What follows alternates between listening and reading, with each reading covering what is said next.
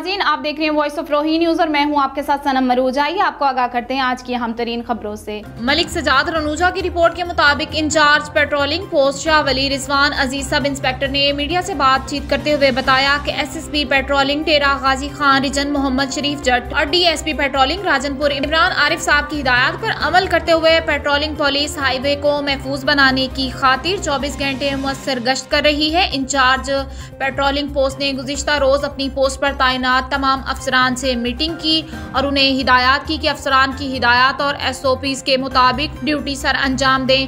Corruption किसी सूरत बर्दाश्त नहीं की जाएगी। आवाम की ज़्यादा से ज़्यादा मदद करें और हाईवे पर तेज रफ्तार ओवरलोड गाड़ियों के खिलाफ कार्रवाइयाँ अमल में लाएँ। जराइम पेशा अफराद पर खसूसी नज़र रखें। इंचार्ज पेट्रोलिंग शाहवली का कहना था कि थाना शाहवली के S H O Javed Iqbal के साथ बाहमी ताउन के ज़रिए इलाके में क्राइम कंट्रोल करने का लाहे अमल बनाकर मौसर गश्त किया जा रहा है। खबरें आपने जानी, मजीद न्यूज़ अपडेट के लिए देखते रहे वॉइस ऑफ़ रोही न्यूज़